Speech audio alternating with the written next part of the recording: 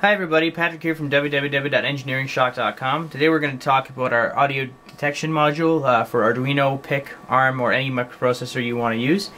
Very easy to use, three pins, 5 volts uh, power supply, ground, and signal out.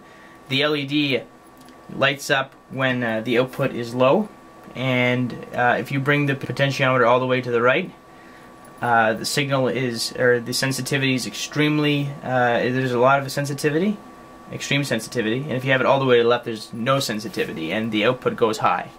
So right now we've got it in, in uh, extreme sensitivity mode. I've got my oscilloscope probe hooked up to the output. So if you want to look at my oscilloscope for a second, I'll just kind of clap a couple times, and you can get the idea of what's going on.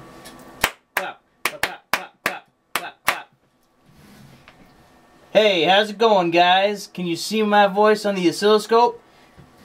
But you can't see a whole lot because it's scrolling by so fast. So now what I'll do is I will hook it up to a little speaker so you can see a constant output.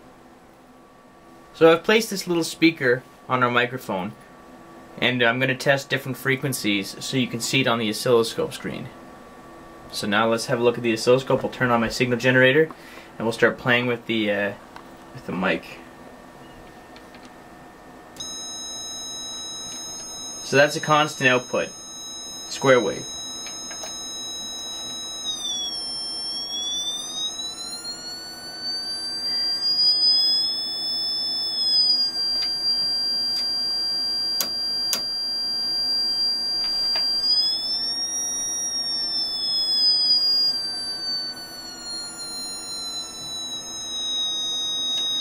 So, the output is square wave, as I mentioned before.